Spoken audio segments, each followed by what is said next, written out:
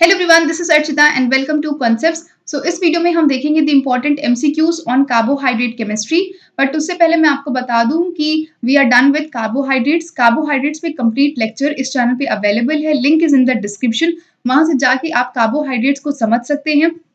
Carbohydrates में हमने देख लिया था उसका जनरल इंट्रोडक्शन फिर हमने उसका क्लासिफिकेशन भी डिटेल में देखा था। वन बाय वन हमने सारे टाइप के कार्बोहाइड्रेट्स को समझा उसके इंपॉर्टेंट कैरेक्टरिस्टिक फीचर्स को हमने देखा था। एंड देन हमने म्यूटा रोटेशंस म्यूकोपॉलीसेक्राइड्स जो कुछ इंपॉर्टेंट टॉपिक्स हैं कार्बोहाइड्रेट्स की हमने उसको डिटेल में समझा था। सो so, कार्बोहाइड्रेट्स तो हम कर चुके हैं। अब हम देखेंगे कि कितना चीज़ें हमें समझ में आई हैं by solving such MCQs so so, अगर अब तक आपने कार्बोहाइड्रेट्स पे लेक्चर्स नहीं देखे हैं सो आप आप लिंक डिस्क्रिप्शन में दिया गया है आप वहाँ से जाके कार्बोहाइड्रेट्स को समझ सकते हैं। Now moving ahead to the MCQs so the first MCQ over here is that uh, of the following are following of each other so इसमें हमें epimers के बारे में पता होना चाहिए. Before talking about uh, options, सबसे पहले epimers क्या होते हैं? Epimers मैंने एक शॉर्ट वीडियो भी बना रखा है. आप वहाँ से जाके epimers को समझ सकते हैं. बट फिर भी मैं आपको यहाँ पे एक जनरली uh, बता दूँ कि एपिमस आपके ऐसे कार्बोहाइड्रेट्स होते हैं जो एक दूसरे से डिफर करते हैं which differ from each other with respect to a single carbon atom वो क्या करते हैं वो एक सिंगल कार्बन एटम के रिगार्डिंग क्या करते हैं डिफर करते हैं other than the reference carbon atom ये याद रखिएगा कि वो रिफरेंस कार्बन एटम के अलावा जो कार्बन एटम में डिफर करते हैं उसको ही हम एपिमर्स बोलेंगे. So on just briefing you कि कार्बोहाइड्रेट्स uh, ऐसे कार्बोहाइड्रेट्स जो एक दूसरे से डिफर करते हैं with respect to a single carbon atom other than the reference carbon atom तो अगर इसके एग्जांपल्स में हम देखें तो इसे D glucose and D mannose जो होते हैं वो एपिमर्स होते हैं with respect to carbon number two and glucose and D-galactose are epimers of each other with respect to carbon number 4. So यहाँ पे option A and B both are correct. So the correct option over here is both A and B. Now question number two क्या कह रहा है? Question number two कह रहा है which of the following is a reducing sugar? Reducing sugar क्या होते हैं? Reducing sugar ऐसे sugars होते हैं जिसमें free aldehyde या ketone group present होता है. ठीक है तो ऐसे sugars को हम बोलेंगे reducing sugars so in that case जो आपके ऑप्शंस हैं ऑप्शंस में हम देख लेते हैं क्या क्या ऑप्शंस हैं। सो so, ऑप्शंस में है sucrose glucose fructose and both B and C so यहाँ पे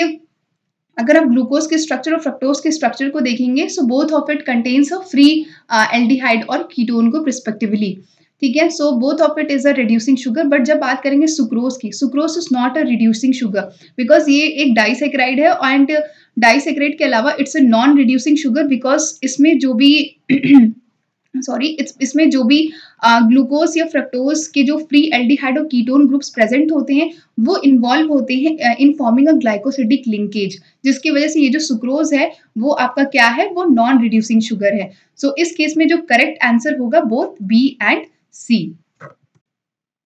Now यहाँ पे जो थर्ड क्वेश्चन है, वो कह रहा है lactose is compose of which of the following sugars so यहाँ पे ऑप्शन है glucose and fructose glucose and glucose glucose and mannose glucose and galactose so glucose and fructose without any second thought is present in sucrose sucrose is made up of glucose and fructose glucose and glucose is present in maltose okay so maltose में glucose plus glucose present होता है। And अगर lactose की बात करेंगे so glucose plus galactose is present in lactose so यहाँ पे जो करेक्ट ऑप्शन होगा it will be option D which of the following is known as invert sugar so इसमें ऑप्शन है lactose sucrose glucose and galactose so अगर invert sugar के बारे में आपको बता दूँ तो उसमें ये होता है कि जो सुक्रोज है sucrose itself is dextrorotatory in nature मतलब कि जो सुक्रोज है वो क्या है? वो डेक्स्ट्रो रोटेटरी है। और उसकी ऑप्टिकल एक्टिविटीज़ वाइज वो डेक्स्ट्रो है। बट इसके हाइड्रोलिसिस के बाद में बट आफ्टर हाइड्रोलिसिस ये क्या हो जाता है? इसकी जो ऑप्टिकल रोटेशन हो जाती है it changes up to levo rotatory वो लिवो फॉर्म में कन्वर्ट हो जाता है। सो so, ये जो सुक्रोज है इसका change in rotation from dextro to levo rotatory is known as inversion जिसकी वजह से इसको हम इन्वर्ट शुगर भी बोलते हैं। ठीक है? So the correct answer over here is sucrose okay so but एक चीज़ जो यहाँ पे मैं आपको हर एक एमसीक्यूज इसलिए क्लियर करते हुए चल रही हूँ, क्योंकि हमें ऑप्शंस करेक्ट है, ये पता है कि नहीं that that is not much important उसके पीछे का कॉन्सेप्ट क्या है, वो हमें समझना है। क्योंकि अगर हमें कॉन्सेप्ट समझ में आ गया तो उस क्वेश्चन को अगर हम लोग थोड़ा ट्विस्ट एंड टर्न भी कर लेंगे तो उसको हमें इतनी डिफिकल्टी नहीं होगी सॉल्व करने में। Now the fifth question over here is amylose and amylopectin are present in so अगर आपको याद हो तो जब मैंने आपको पॉलीसाइक्राइड्स बताया था तो उसमें मैंने डिस्कस किया था cellulose glycogen starch and inulin के बारे में. सो इन दैट केस मैंने आपको बताया था कि जो ग्लाइकोजन होता है ऑब्वियसली हम सबको पता है that it is the storage form of glucose glucose की यूनिट्स uh, मिलके बनाती हैं glycogen inulin is the polymer of fructose so starch की अगर बात करेंगे तो starch consist of amylose and amylopectin so amylopectin जो होता है it is insoluble in nature और इसका जो नेचर होता है कि ये वाटर को एब्जॉर्ब करके एक जेल या पेस्ट लाइक जेल बना लेता है। अगर एमाइलोस की बात करेंगे सो so एमाइलोस के अंदर प्रेजेंट होता है alpha one four glycosidic linkage and amylopectin की बात करेंगे so it is a branched so branched के फॉर्म में इसमें alpha one six glycosidic linkage present होता है। So the correct option is option C starch now the six question very simple a carbohydrate present in DNA is मुझे लगता है कि इस पूरे एमसीक्यू में सबसे इजी क्वेश्चन तो क्वेश्चन नंबर सिक्स ही है because a carbohydrate present in DNA ये तो हम लोग बहुत ही लाइक uh, बचपन से पढ़ते हुए आ रहे हैं डीएनए आरएनए की जब भी बात करते हैं तो उसको फुल फॉर्म में ही uh, इसका आंसर छुपा हुआ है D oxy ribo nucleic acid so DNA के अंदर क्या प्रेजेंट होता है? D oxy ribo sugar so DNA के अंदर डी राइबोस शुगर प्रेजेंट होता है। आरएनए के अंदर क्या प्रेजेंट होता है? राइबोस बिकॉज़ उसके फुल फॉर्म में क्या है? राइबो न्यूक्लिक एसिड सो इसलिए उसमें राइबोस प्रेजेंट होता है। So option B is correct now option now question number seven says की फिल इन द ब्लैंक्स है ये। Is use for assessing the kidney function through measurement of glomerular filtration rate so इसमें आपको बताना है कि इसमें कौन सा ऐसा कार्बोहाइड्रेट है which is use for assessing the kidney function test so the correct option over here is inulin inulin का हम यूज़ करते हैं for to measure the kidney function by measurement of the G F R so the correct option is option A inulin now question number eight is glycogen contains so इसमें हमें बताना है कि ग्लाइकोजन में कौन से बॉन्ड प्रेजेंट होते हैं. बिकॉज़ ग्लाइकोजन को के अंदर कौन सा ब्रॉन्ड प्रेजेंट है, ये हमें इसलिए भी पता होना चाहिए क्योंकि जब हम लोग मेटाबॉलिज्म पढ़ते थे ग्लाइकोजिनोलाइसिस हो गया ग्लाइकोजेनेसिस हो गया सो इन दैट केस अगर हमें बॉन्ड पता होगा तो वो दोनों प्रोसेस समझने में हमें आसानी होगी। So that's why this question is quite important so इसमें अगर हम देखेंगे तो फ़र्स्ट ऑप्शन में alpha one four glycosidic linkage beta one six glycosidic linkage B option है alpha one four glycosidic linkage and alpha one six glycosidic linkage so so, जब मैंने आपको स्टार्च बताया था तो स्टार्च में ये दोनों लिंकेज पाए जाते हैं alpha one four and and alpha one six beta one four glycosidic linkage is present in the cellulose फिर है D option alpha one four glycosidic beta one four glycosidic linkage so the correct option is option A which is which says alpha one four glycosidic linkage उसके linear chain में present होता है और जब वो branched हो जाता है so in that case beta one six glycosidic linkage present होता है. So option A is correct